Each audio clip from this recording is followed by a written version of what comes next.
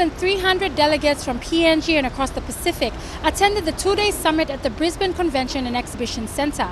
The summit showcased business and investment opportunities in PNG across all sectors of the economy, including petroleum, mining, agriculture, business and finance.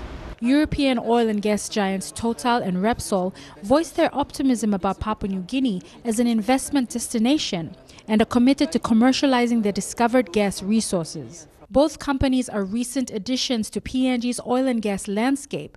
Total is the operator of the proposed Papua liquefied natural gas project, while Repsol acquired Talisman Energy, which has built up a fairly large gas resource in the western province. I don't believe it has shaken the confidence, uh, the confidence of the investors. Mm-hmm. It, it's a good country. It's business friendly.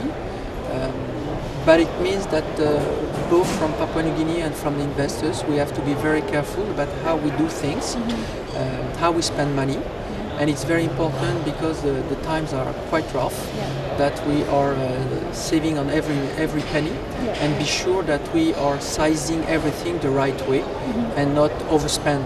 So it's important both for Papua New Guinea and for us mm-hmm. that we, we are very strict and very disciplined in doing this. Celebrating more than 25 years in Papua New Guinea, CPL Group's Mahesh Patel also showed renewed optimism in the country. Addressing fearmonger reports, he passionately added that comparisons between PNG and Greece are absolute rubbish. I think, I think we're in an industry where it's, it's a basic necessity. If you look at food, if you look at pharmaceuticals, if you look at with Jacks, with clothing, with uh, hardware, with you know home building, so it's all part of a nation building. And I think uh, again, uh, you look at, look at the economic indicators. I mean, we just heard the Prime Minister this morning at the PNG summit to say our projected GDP growth was 15.5.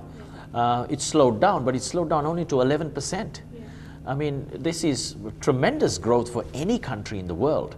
So I think you need to have a positive outlook. And uh, in PNG, you know, it's very easy for people to get very negative very quickly about a little blip.